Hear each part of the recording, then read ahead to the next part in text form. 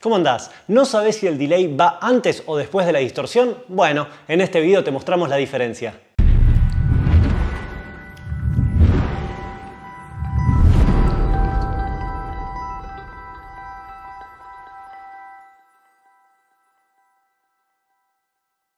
Como ya sabrás, la mayoría de la gente que sabe de efectos te va a decir que el delay va siempre después de la etapa de distorsión, llámese después de tus pedales de drive o en el loop de efectos de tu amplificador. Pero muy pocos te explican por qué este es el lugar ideal para conectar tu delay. En este video vas a escuchar exactamente cuál es la diferencia de tener el pedal de delay antes de la distorsión o, lo que sería ideal, después de la distorsión. Obviamente, para poder hacer esto realidad, vamos a estar utilizando la PVC6X de RJM. Este audio switcher, que también es pedalera controladora MIDI, te permite modificar el orden de tus pedales sin cambiar ningún cable de lugar, ¿sí? solamente vía software y la calidad de audio es inmaculada gracias a los buffers que incluye. Los pedales que vamos a estar usando en este video son el Series de KSR para generar todas las distorsiones y el Canyon de Electro Harmonics para tener un delay de excelentísima calidad. En la PVC 6X tengo programado cuatro presets. El primero vas a escuchar la distorsión, en el segundo vas a escuchar el delay sobre canal limpio,